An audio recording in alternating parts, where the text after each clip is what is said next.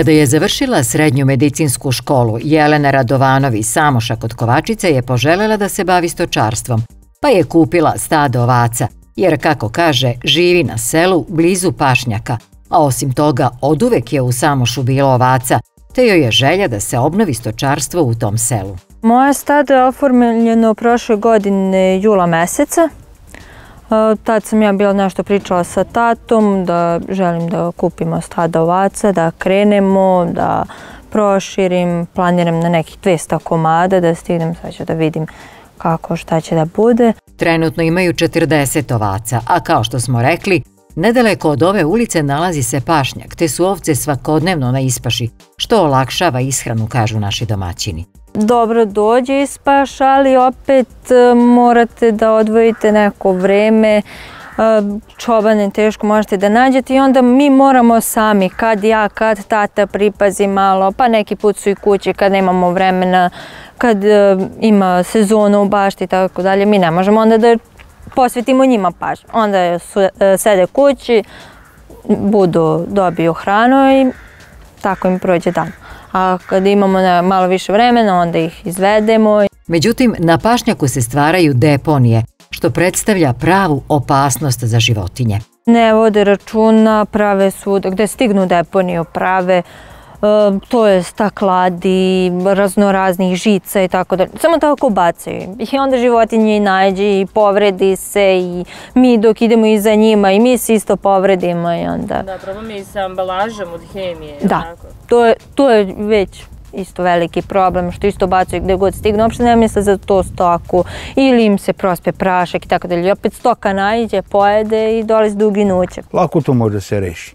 Primjer da bude kaucija neki predlog, 1000 dinara po flaši za ove hemikalije i onda vi, ako hoćete, bacite, pa ja mislim da nikom nije u cilju da baci 1000 dinara, pa bi mi sami se organizovali, molili koje kakve ove razne kuće da dođu po embalažu ili jednostavno ako smo koji poljoprivredne poteci smo kupili embalažu, ta poljoprivredna poteka je dužna da preuzme tu embalažu od nas uz normalno da nam vrati kauciju i to bi bio problem rešen. Inače, nekada je u Samošu bilo daleko više ovaca koje su prolazile ovom ulicom ka pašnjaku.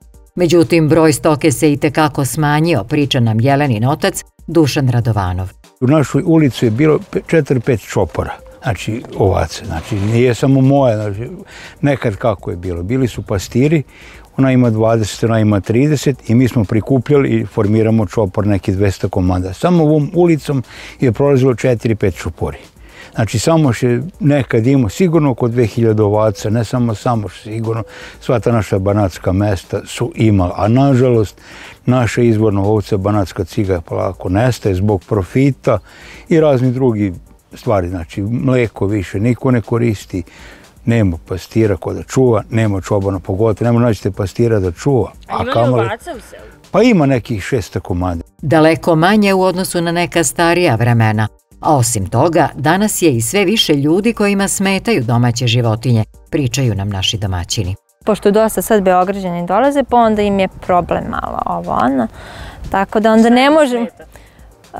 pa miris stoke, zato što ili ću da idu na pašu i nisu navikli na ovaj naš seoski život, pa im onda sve smeta i onda moramo i to da gledamo do koliko može u selu i tako dalje.